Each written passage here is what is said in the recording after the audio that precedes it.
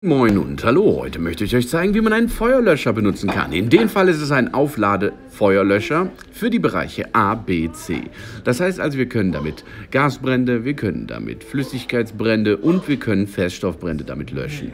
Eigentlich das Standardzeug, was ihr so am Löschen braucht.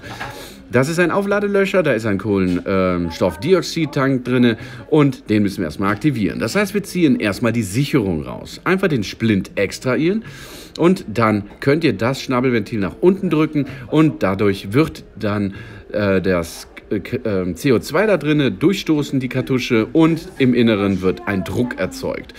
Haltet dann den, ähm, den Spritzstab in Richtung des Feuers und ihr könnt indem ihr in rhythmischen Bewegungen pumpt, dann auch das Löschmittel, und zwar das Pulver, dann rausschießen. Ihr seht, da ist ein bisschen Druck drauf. Damit kriegt ihr aber ganz schnell euer Feuerchen, was noch nicht so groß ist, gelöscht.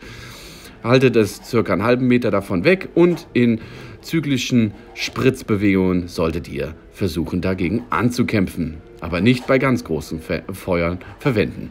Jetzt schauen wir uns das in der Praxis an. Als Beispiel haben wir hier ein kleines Lagerfeuerchen vorbereitet. Das heißt, hier haben wir einen kleinen Brandbeschleuniger reingesetzt und Holz als, ähm, als Brandherd. Stellt euch stabil hin und ballert los.